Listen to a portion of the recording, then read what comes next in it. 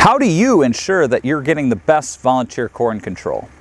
My name's Tyler Steinkamp, agronomist for Winfield United, and today we're going to focus in on what key adjuvants you need to add to the tank to get good volunteer corn control and how to overcome antagonism that often plagues us when we're mixing with group 4 type herbicides.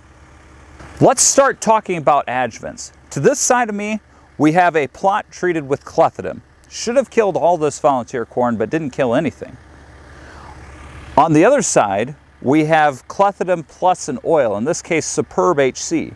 You can see we got very good control with that oil adjuvant in the tank because we were able to get through that waxy cuticle on the plant. Another key factor that we run into with corn killing herbicides is as we start to tank mix.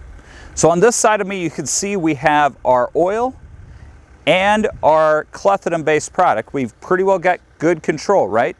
This plot over here is the exact same, but now we added in dicamba to that tank mix.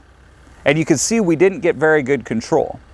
Okay, so the key is if you're going to be tank mixing these group 4 type herbicides, whether it be 2,4-D or dicamba, we need to bump up the rate of that corn killing herbicide to get decent weed control.